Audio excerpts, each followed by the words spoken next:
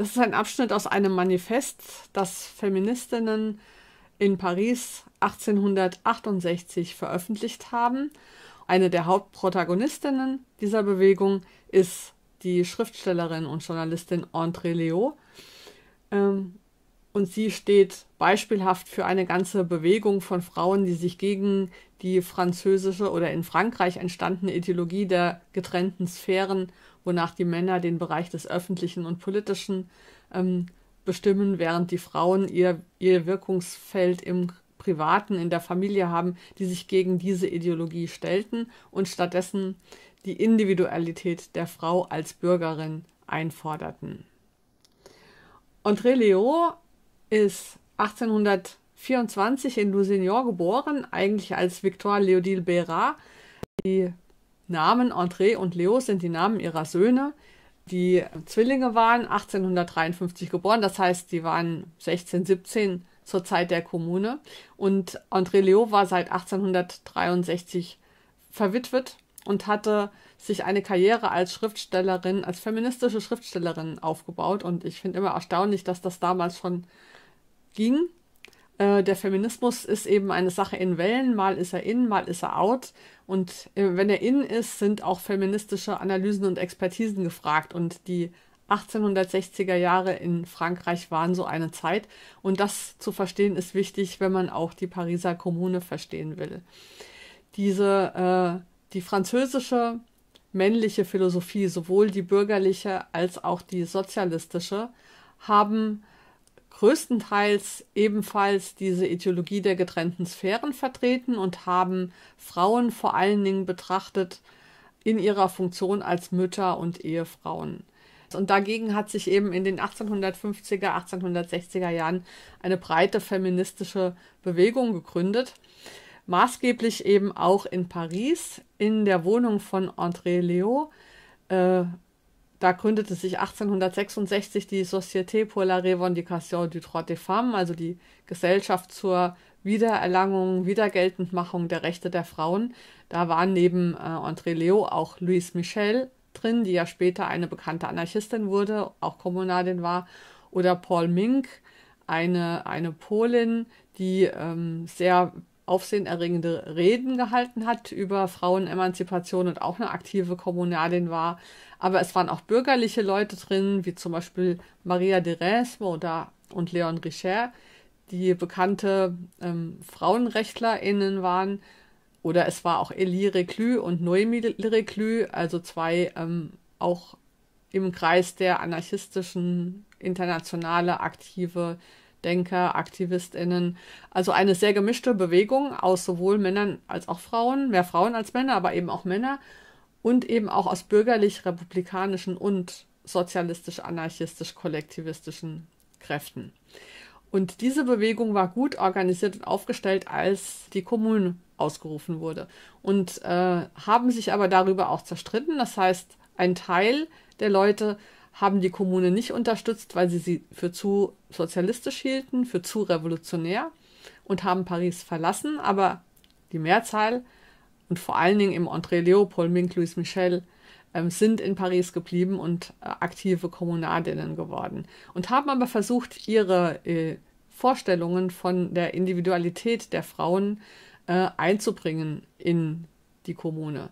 Das ist ihnen nur zum Teil gelungen und es ist ganz interessant, äh, die Dekrete und ähm, Beschlüsse der Kommune nochmal unter diesem Hintergrund zu beleuchten.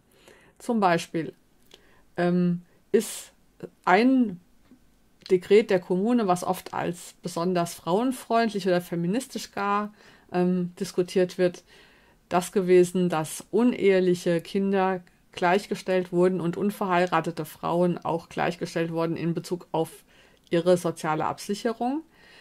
Allerdings fällt dabei eben auf, dass sie nicht als Individuen angesprochen werden, sondern auch von der Kommune in ihrer Funktion als Familienfrauen. Und damit ist dieses, dieses Dekret zwar ein gutes, weil es natürlich besser ist, auch die unverheirateten und unehelichen Frauen und Kinder gleichzustellen. Ähm, aber es ist doch kein feministisches Gesetz, sondern eher ein antikatholisches oder ein antistaatliches. Also man wollte die Legitimation der Kirche oder des Staates, Ehen zu besiegeln, damit angreifen, aber man hat nicht Frauen als solche besser gestellt, weil eben als Individuen waren sie nach wie vor nicht angesprochen. Die, Und ein anderes Dekret der Kommune war das Verbot, die Schließung von Bordellen, das Verbot von Sexarbeit. Und da kann man auch sagen, vielleicht eine feministische Forderung. Auf der anderen Seite ist aber ähm, äh, natürlich Sexarbeit eine der Möglichkeiten, auch gerade für nicht liierte, nicht verheiratet, nicht mit Männern verbandelte Frauen gewesen, äh, sich ein Einkommen zu verschaffen.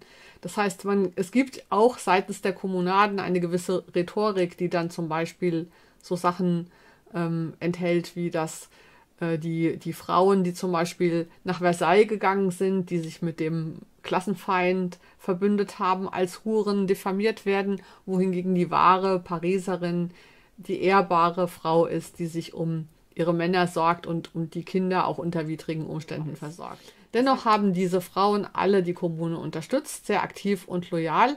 Sie haben sie aber eben kritisch begleitet. Und es ging bei dieser Kritik nicht nur um die Frage der, ähm, der Frauenrechte, sondern es ging auch generell um das Revolutionsverständnis. Also es fällt zum Beispiel auf, dass diese Frauen sehr viel, also André Leo und Paul Mink zum Beispiel, haben äh, aktiv dafür sich eingesetzt, die Ideale der Kommune auch ähm, außerhalb von Paris, auch an die Landbevölkerung, auch an die skeptischen äh, republikanischen Kräfte zu vermitteln. Und ich sehe da schon ein, eine, eine Frage nach dem Revolutionsverständnis. Was ist das, was den Kern der Revolution ausmacht? Ist es die gewaltsame Aktion, der Aufstand, die Inbetriebnahme, Übernahme von Parlamenten?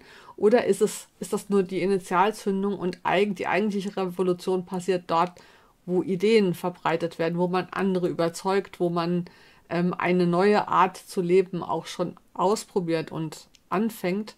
Ähm, von Louise Michel weiß man ja, dass sie nach der Kommune äh, sich von der Macht als Mittel der politischen Transformation verabschiedet hat. Sie hat, ist dann Anarchistin geworden. Das war sie zur Zeit der Kommune eben noch nicht, weil sie gesehen hat, dass die Macht entweder dazu führt, dass man eine Niederlage erleidet oder aber, dass man selbst korrupt wird und äh, sich nicht mehr unterscheidet. Und von André Leo gibt es eben auch so ein Zitat, wo sie sagt, wenn wir uns verhalten wie unsere Gegner in unseren politischen Mitteln, wie sollen sich die Leute dann zwischen uns und ihnen entscheiden? Und deswegen ist sie immer sehr vehement dafür eingetreten, dass der Zweck die Mittel nicht heiligt, dass man eben nicht ähm, um die Revolution zu retten, dann auch zu problematischen Mitteln wie etwa Zensur oder Prozesse gegen sogenannte Verräter greifen darf, sondern dass man die mh, hm, Gesellschaft, die man erreichen will,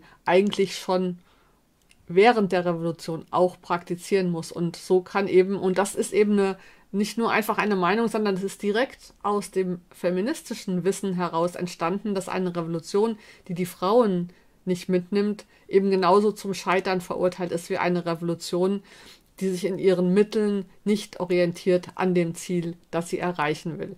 Und deswegen wäre es gut, wenn es jetzt zum Jubiläum der Kommune eben die Frauen nicht nur als Covergirls irgendwie hochgehoben werden, wie zum Beispiel jetzt das Schiff von Sea-Watch, das nach Louis Michel benannt wurde, sondern dass auch inhaltlich wir uns mit dem, was die äh, Feministinnen die sozialistischen Feministinnen zur Pariser Kommune dachten, auseinandersetzen.